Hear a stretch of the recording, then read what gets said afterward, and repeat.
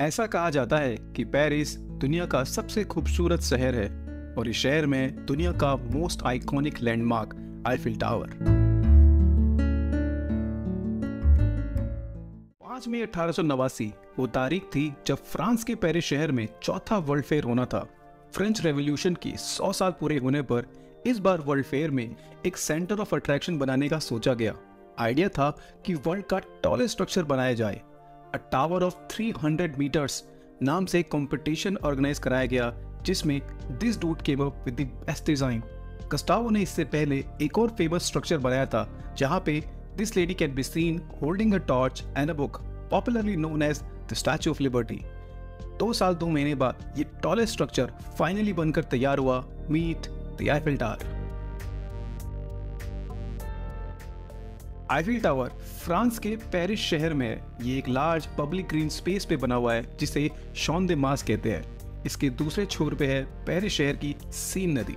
अगर हम Eiffel tower के डायमेंशंस की बात करें तो आईफिल टावर की विड्थ उसके बेस पे 410 फीट की है। अगर इसे हम फीफा के ग्राउंड में रख दें तो ये फीफा के ग्राउंड से भी ज़्यादा चौड़ा है। रॉट आयरन से बने इस स्ट्रक्चर का टोटल वेट दस हज़ार टन है, जो चार हज़ार एशियन एलिफेंट्स की वेट के बराबर होता है। इसकी करंट हाइट एक हज़ार तिरासी फीट, यानी कि 330 मीटर की है। अगर इसके सामने हम कुतुब मीनार को एक के ऊपर एक चार बार रख दें तो ये उससे भी ज़्यादा लंबा है।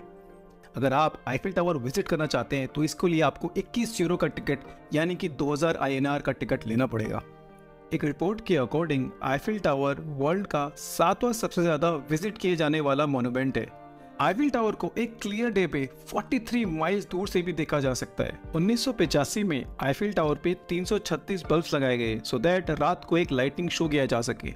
लेकिन उसके बाद से अब तक आईफिल टावर पे बीस हज़ार लाइटनिंग बल्ब लगाए जा चुके हैं और रात को आईफिल टावर देखने लायक होता है और ये इसकी खूबसूरती को और भी बढ़ा देता है। अब इतने बड़े स्ट्रक्चर्स को मेंटेन करने के लिए काफ़ी ज़्यादा मेहनत भी लगती है। हर सात साल में आईफिल टावर पे पेंट होता है और वो भी साठ टन। आईफिल टावर को बनाने में लगे साइंटिस्ट और इंजीनियर्स के नाम आज भी आईफिल टावर पे देखे जा सकते हैं। आईफिल टावर पर एक बार येलो पेंट कर दिया गया था। 1968 के बाद आईफिल टावर को उसका ऑफिशियल टावर ब्राउन कलर मिला।